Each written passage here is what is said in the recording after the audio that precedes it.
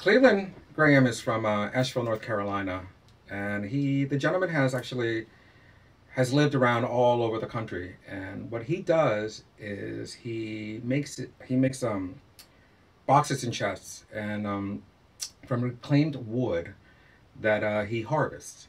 Um, what his whole idea is to make the old new again, and then hopefully something that could become an heirloom in the future.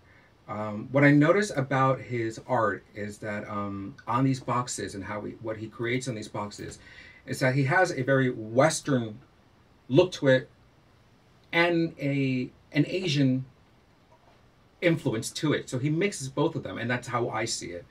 Um, beautiful pieces. I mean, another thing that I can definitely see in, in, in a home. And yes, I can definitely see something that you can pass along. Um, very excited to have you, Cleveland. The type of boxes that um, you see, I mean, anything from, uh, he uses from like, they look like file boxes to a, a hexagon box, which can be used as a jewelry box. And then he will also use like these beautiful chests, which he will outline the inside with uh, with velvet. Um, and then he will use certain little knobs that are, you know, just give it that old, older feeling about it.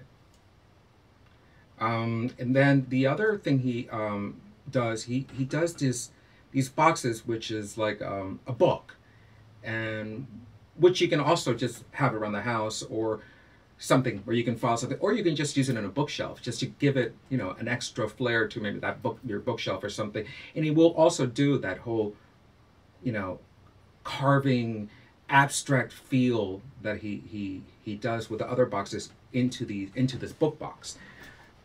Visit his exhibit at slash gallery. His original works are available in our gallery store